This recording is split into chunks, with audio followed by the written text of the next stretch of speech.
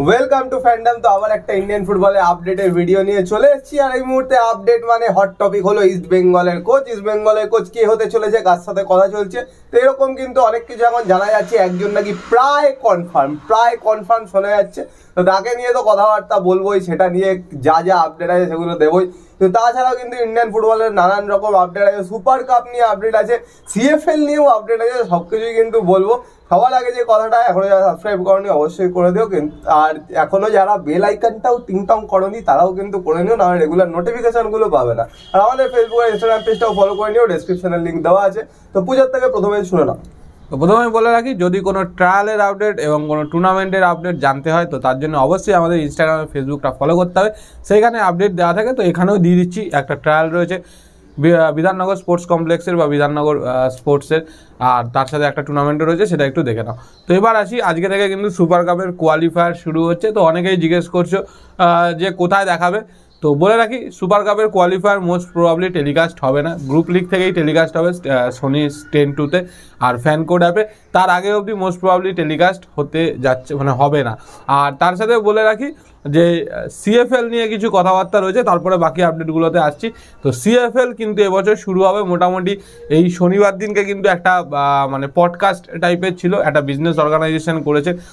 তার সাথে sport three sixty পিও ছিল। তো এরা মিলেই কিন্তু করেছে এবং সেখানে আইএফএ সেক্রেটারি অনির্বাণ দত্ত উপস্থিত ছিলেন এবং তিনি কিন্তু সেইখানে মেনলি আলোচনাটা হয়েছিল যেটা ফুটবলের সাথে বিজনেস কীভাবে জড়িত মানে জড়িত বা ফুটবলের প্রমোশনের জন্য বা ফুটবলটাকে এগিয়ে নিয়ে যেতে চাইলে বিজনেসটা কতটা জরুরি সেগুলো নিয়ে। তো সেইখানে যিনি বলেছেন মানে অনির্বাণ দত্ত বলেছেন যে আইএমএস সিএফএল মোস্ট প্রবলি এবছর জুন থেকে শুরু হবে মিড জুন থেকে।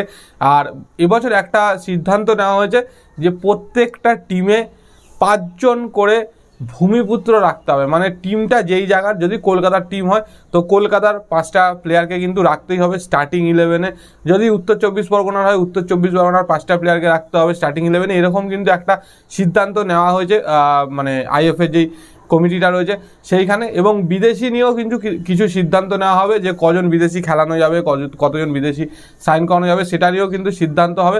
আর তার সাথেও অনেক এখানে আইএফএ শিল নিয়েও জিজ্ঞেস করা হয়েছিল, তো আইএফএ শিল নিয়েও তিনি বলেছেন যে গত বছর একটু ক্যালেন্ডারটা এদিক ওদিক হয়েছে বলে করা যায়নি। তো এবছর জাঁকজমকপূর্ণ করে কিন্তু আইএফএ শিল্ডও অনুষ্ঠিত করা হবে।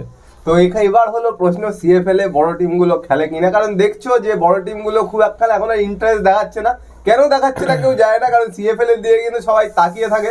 এবার দেখা যাক যদি তিন প্রধান একসাথে খেলে, তাহলে কিন্তু আবার সিএফএল আগের মতো জমজমাট হতে পারে। তো সেটাই দেখার যে কি করে। তবে গত বছর তো লাস্ট রাউন্ড থেকে মোহামেডান আর ইস্ট বেঙ্গল খেলেছিল। তো এবছর দেখা যাক মোহনবাগান নতুন নাম নিয়ে খেলে কিনা। তো আশা করা যায় খেলবে। তো এবার চলে আসি কিছু ট্রান্সফার রিলেটেড কথাবার্তায়।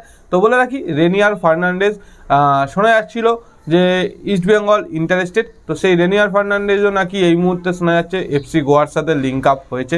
তো যদি সব কিছু ঠিকঠাক থাকে রেনিয়ারও কিন্তু এফসি গোয়াতে যেতে চলেছে এবং তার সাথে আরেকটা বিশাল বড় লিঙ্ক আপ হয়েছিল। আমরাও বলেছিলাম যে দিয়েগো মরেশিও তাকেও নাকি ইস্ট বেঙ্গল নিতে চাইছে।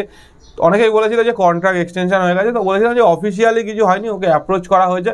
তো মোটামুটি যা খবর, তাতে দিয়েগো মৌরেশিও কিন্তু ওড়িশা এফসির সাথে কন্ট্রাক্ট এক্সটেনশন করতে চলেছে। হয়তো আজকেই সেটা আজকালকের মধ্যেই হয়তো অ্যানাউন্সমেন্ট হয়ে যাবে।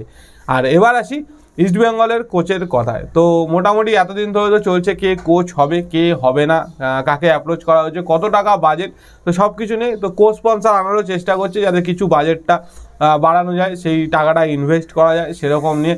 তো সেই জায়গা থেকে মোটামুটি শোনা যাচ্ছে। তো অনেকেই দেখেছে, অনেক জায়গায় বেরিয়েছে এবং তার সাথে একজন মানে রিলায়েবল স্পোর্টস জার্নালিস্টও কিন্তু রিপোর্ট করেছে যে মোটামুটি সার্জিও লোবেরার সাথে নাকি কথাবার্তা অনেক দূরই এগিয়েছে এবং তিনি নাকি ইন্টারেস্ট প্রকাশ করেছেন এবং তিনি আর কিছু জানতে চেয়েছেন, সেই তথ্যগুলো যদি তাকে ঠিকঠাকভাবে প্রোভাইড করা হয়, তাহলে হয়তো লোবেরাই কোচ হতে পারে। যদি এক, একদম শেষ মুহূর্তে কোনো রকম কোনো অঘটন না ঘটে, কোনো রকম কিছু চেঞ্জেস না হয়, তাহলে পরে সেইখানে অন্য কেউ আসতে পারে। না হলে সার্জিও লোবেরার চান্স কিন্তু অনেকটাই বেশি। আর সার্জিও লোবেরা এলে কিন্তু অনেকগুলো অ্যাডভান্টেজ আছে। শুধু ইস্ট বেঙ্গল না, যে কোনো টিমেরই অনেকগুলো অ্যাডভান্টেজ আছে, কারণ সার্জিও লোবেরা আসলে কিন্তু একটা লং টার্ম ভিউ নিয়ে আসবে। মোটামুটি সেটা সেই লং টার্মটা যদি মিনিমাম হয়, তাহলেও কিন্তু তিন বছরের হবে। সেই হিসেবে প্লেয়ার সাইন করাবে, সেই হিসেবে বিদেশি আনবে। মানে ইয়াং বিদেশি আনার চান্স অনেকটা বেশি, যারা কিন্তু একদম নিজেদের প্রাইমে আছে। মানে সাতাশ, আঠাশ এরকম বয়সের। তার সাথে ইন্ডিয়ান প্লেয়ারদেরও কিন্তু অনেক ইয়াং ইন্ডিয়ান প্লেয়ারদের প্রমিসিং ইন্ডিয়ান প্লেয়ারকে নেওয়ার চান্স থাকবে। সার্জিও লোবরা কিন্তু টিমটা ওরমভাবেই বানাবে, যাতে এক টিম পুরো ধরে রাখতে পারে তিন, চার বছর ধরে। এটাই দেখার বিষয়। সার্জিও লোবরা কিন্তু এগুলোই জানতে চেয়েছিল, আর ক্লাবের তরফ থেকে বা ইমামির তরফ থেকে কিন্তু এগুলোই মেল করে পাঠানো হয়েছিল। তারপরে কিন্তু এখনও নেগোসিয়েশন চলছে।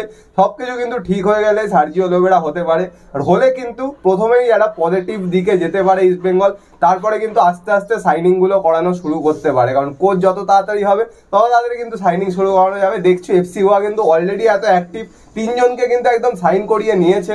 চারজনের দিকে যাচ্ছে। এবার তো দেখা যাক আস্তে আস্তে ইস্ট বেঙ্গলে কি হয়।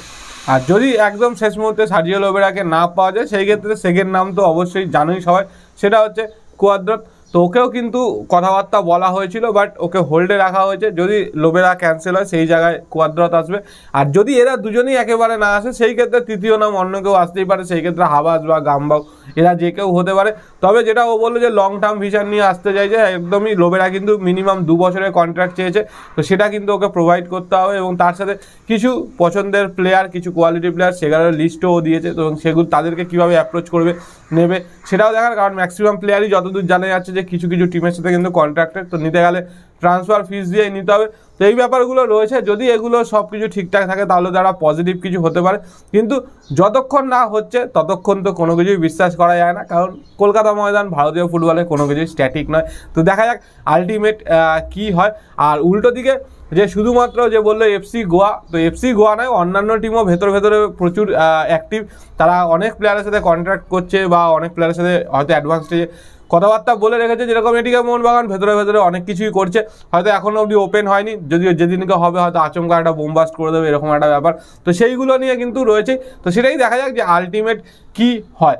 আর সুপার কাপ মানে মোটামুটি যদি ইস্টবেঙ্গলের কোচ কে হবে সেটা যতদূর শোনা যাচ্ছে বা জানতে পেরেছি, এই সপ্তাহের মোটামুটি ফাইনাল হয়ে যাবে। হয়তো এই সপ্তাহে অ্যানাউন্সমেন্ট হয়ে যেতে পারে, নাহলে হয়তো নেক্সট উইকে অ্যানাউন্সমেন্ট করে দেবে বাট যা কিছু ফাইনালাইজড কর, এই সপ্তাহের মধ্যে কিন্তু ফাইনালাইজড হবে।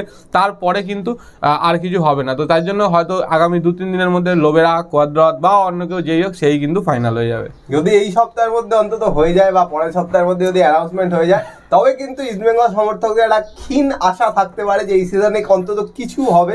কারণ এত তাড়াতাড়ি যদি করতে পারে, তাহলে কিন্তু টিমটা গঠন করতে পারবে। আর মেন জিনিস হলো টিমটা যদি পুরো এত তাড়াতাড়ি বানিয়ে নিতে পারে, তাহলে কিন্তু সিএফএল বা অন্যান্য যা টুর্নামেন্ট হবে সেগুলো কিন্তু খেলিয়ে খেলিয়ে ডুরান্ড এইসব এগুলোও কিন্তু হবে সেগুলো কিন্তু খেলিয়ে টিমটাকে সেটও করে নিতে পারবে, তারপরে কিন্তু আইএসএল যেতে পারবে।